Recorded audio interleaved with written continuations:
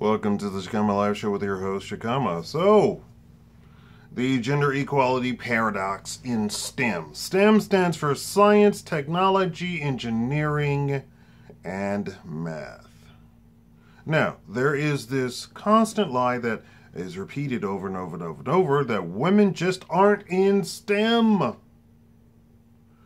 If you take a casual glance, and I mean that you just casually look at it, don't even have to study it in depth, uh, you will find that it's a big, fat, hairy lie.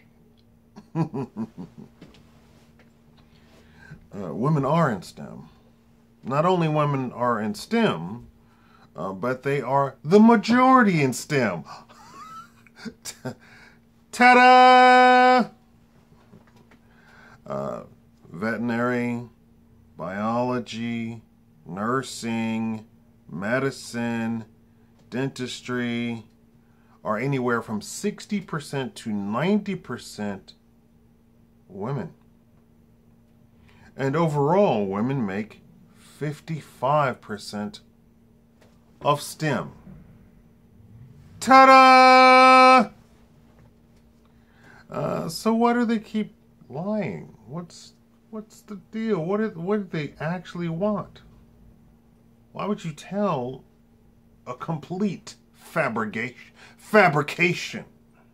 Uh, well, uh, uh, the only thing that I could come up with my wisdom and my uh, um, savoir-faire, my uh, uh, je ne sais quoi, is that they want men out of STEM, which is kind of kooky.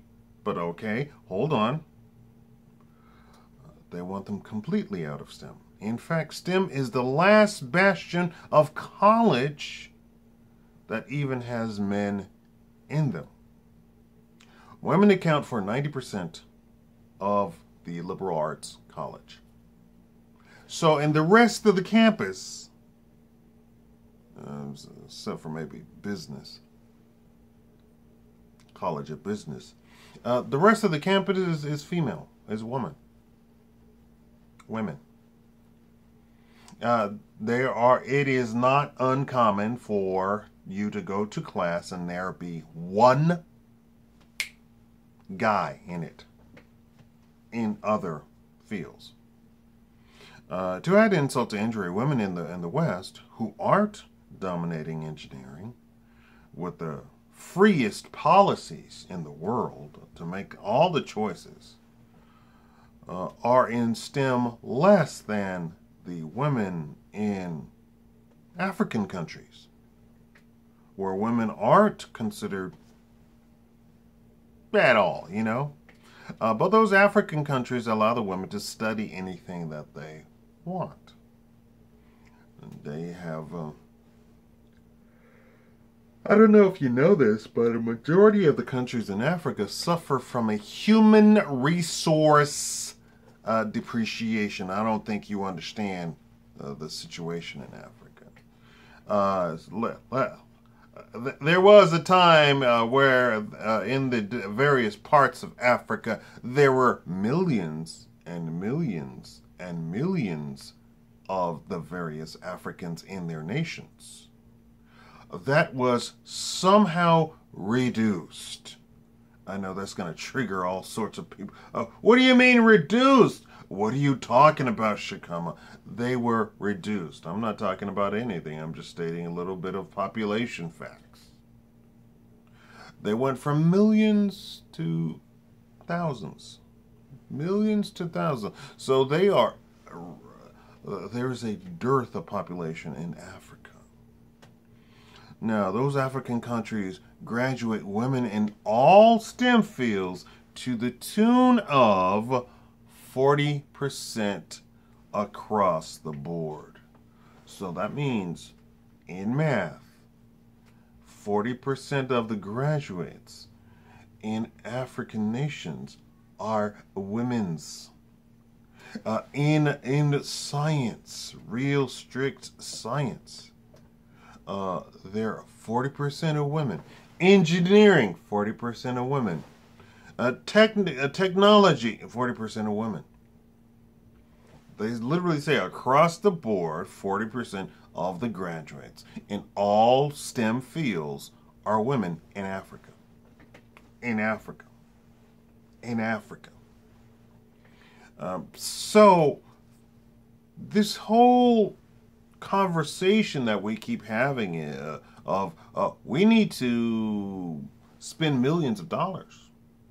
If not, hold on, billions of dollars to get women to graduate in the STEM fields. Well, in Africa, uh, they don't give out millions nor billions of dollars to get women into graduate in STEM. In fact, they don't give anything for women. Oh, uh, which leads to the final point of this video. Uh, they found that the countries with the biggest uh, disparity or gap between women and men in the STEM fields also were the biggest uh, welfare handout countries. They had the least amount of women in STEM, and the harder women have it, uh, let's say in the African nations, uh, where they have to make their own money, they found that women took majors that pay the highest. Did you see my video talk about top 10 majors that pay the most? Made it a couple of years ago.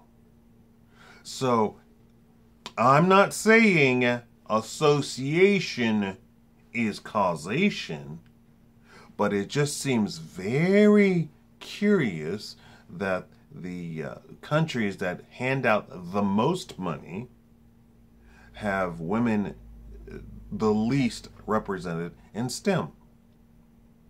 And then when they actually did a survey, just not to make this any longer, when they did a survey amongst women, they found that the only thing that they could come with what with was that women just are not interested in STEM in the Western countries.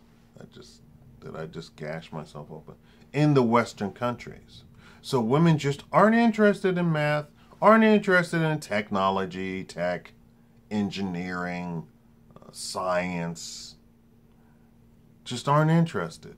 But for some reason, in the African nations, they are. Tell me what you think about this and please like the video. The likes have fallen off. I want 10,000 likes on this video. Uh, you liking the video impacts the spread of the video. If we have 10,000 likes, more people will see the video. I, I know that's hard for you to believe, but it's actually true, sir. Thank you all for watching.